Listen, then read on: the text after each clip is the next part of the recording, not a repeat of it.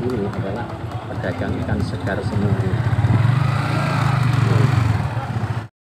Assalamualaikum warahmatullahi wabarakatuh. Selamat bertemu, berjumpa kembali bersama saya di sini. Saya kali ini, nu ya, vlog jalanan uh, video kami suguhkan buat kalian semuanya. Yang saya awali dari perempatan Tembok Rejo Muncar. Nah, tujuan saya mau ke Pantai Muncar, yaitu dalam rangka melihat persiapan menjelang petik laut. Nah persiapan menjelang pedek laut. Jadi saya dari arah Tembok Rejo perempatan dari arah barat saya lurus ke timur ya. Bagi kalian semuanya, barangkali yang menonton video ini yang rumahnya daerah sini, silahkan di komen ya, di komen, di like ya, dan di subscribe juga ya. Dan yang ada di jauh sana yang barangkali tempat tinggalnya area sini boleh ditonton sampai selesai. Semoga video ini bisa mengobati rasa rindu kalian dengan apa ya situasi kampung halaman kalian saudara semua saat ini. Kali ini saya melewati yaitu itu perempatan Tembok Rejo ya. Lurus ke timur nanti sampai ke pelelangan ikan muncar ya. Sampai ke pintu masuk pelabuhan. Jadi biar kita tahu bagaimana ramainya jalanan untuk saat ini menjelang Petik Laut Kota Ikan Muncar yang diselenggarakan pada tanggal 23 April 2024 dan sekarang ini saya berjalan ini hari Minggu tanggal 21 ya terus besok 22 terus 23 nya hari Selasa itu pedek laut di kota ikan muncar. Namun sebelum pedek laut dilaksanakan kesiapan-kesiapan perahu yang ada di muncar sudah penuh dengan perhiasan artinya persiapan untuk lomba nanti atau selamatan ya eh, tasakuran yaitu pedek laut di kota ikan muncar. Bagi saudaraku semua yang ingat kota ikan muncar pastinya apa ya kota yang penghasil ikan terbesar ya di kawasan Jawa Timur khususnya. Yuk kita ikut saya perjalanan kali ini. Saya nanti akan melewati yaitu itu daerah Pasar Muncar ya yang dekat pantai sangatlah ramai sekali di situ. Terus nanti bisa kita tahu apa ya e, bertemu juga yaitu tempat pelelangan ikan di mana pelelangan ikan terbesar ya di situ banyak sekali yaitu orang menjual ikan segar yang didapat dari para nelayan ya. Dan kali ini perjalanan saya masih di timurnya Kuramil Muncar ya. Setelah ini di depan ada Simpang Tiga. Simpang Tiga ke kanan tuh bisa ke Kalimati, juga bisa ke pelabuhan. Namun jalur yang saya lalui ini saya uh, melewati apa ya? pasar ya, pasar yang ada di dekat pantai penangkapan ikan muncar. Jadi biar kita sambil melihat kondisi eh, apa itu kondisi pasar tradisional untuk saat ini bagaimana perkembangannya. Bagi kalian yang rumahnya muncar dan sekitarnya bisa tulis di kolom komentar. Ya itu ada sebang tiga ke kanan namun saya ikut yang lurus saja biar kita nanti sampai di pasar ya pasar tradisional. Beginilah jalanan kawasan Muncar dan sekitarnya uh, jalan sebagian agak berlubang ya namun tetap lancar untuk kita lalui. Karena ini walaupun berlubang nggak terlalu dalam ya.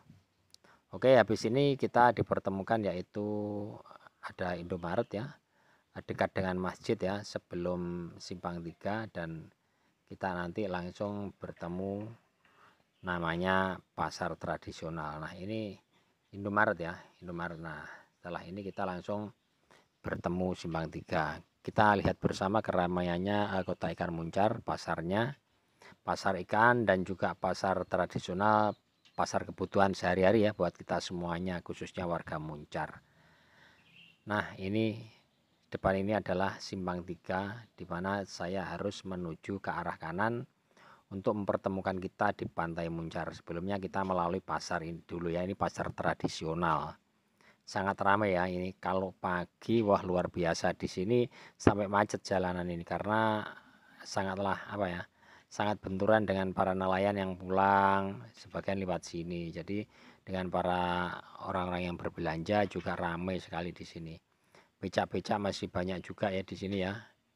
Ini agak macet sedikit ini jalannya karena ini apa ya kawasan pasar. Dan depan ini setelah pasar kita bertemu anu itu apa namanya eh, tempat pelelangan ikan nah, penangkapan ikan. Jadi para nelayan jual ikan ada di sini yang di pabrik juga ada. Dan para saudagar yang keliling ngambilnya juga di kawasan ini. Ini adalah lurus saja. Kalau ini ngambil ke kanan nanti ke pelabuhan. Namun saya nanti juga tembus jalan ini. Namun saya ingin melalui di bagian dalam ya penjualan ikan segar yang ada di pelelangan ini ini saya harus masuk dulu eh, bayar tiket masuknya di sini dulu ya coba di sini kita lihat dulu ya karena kita mau masuk guys Awas, awas, mundur. Maju mohon, Pak. Maju mohon. Sebenarnya cuma mau lewat karena di sini Gimana, mau lewat aja Oke, oke. sampai ke ujung Ujung sana, Pak. iya tapi ingin lewat dalam ini petugasnya kayaknya ganti dulu bukan ini Iya, anu. Sudah meninggal. ya Allah innalillahi kapan kan Habis lebaran kemarin. ya Allah meninggal saya kenal baik kematian yes semoga diterima amal ibadahnya ini anu petugasnya kan makasih yang ya Ya, ya. Ya. Oke, ini pasar ikan ya. Pasar ikan. Orang jualan ikan asin itu banyak di stasiun itu. Ikan yang masih segar pun juga banyak di sini. Nih. Ini para saudagar. Saudagar ikan. Nih. Ya, ini semua yang berderet ini adalah pedagang ikan segar semuanya. Nih. Ikan segar semuanya di sini banyak banget nih orang jualan ikan. Coba saya nanti mau ke kampung ujung sana, tapi lewat dalam sini biar tahu eh, kesibukan untuk hari ini para pedagang ya yang mau di keliling jualan di kampung-kampung ini. Ini ikan juga banyak ini ada ya, mayur. Saya harus melewati jalur ini jadi apa-apa. Saya tahu jalannya kok, karena saya sudah hafal ini para rekan ikan nelayan target di sini tempat ikan besar besar oke sampai ke kampung ini tempatnya keramaian saat seperti bukan dengan panorama yang luas lautnya. Ya laut luas.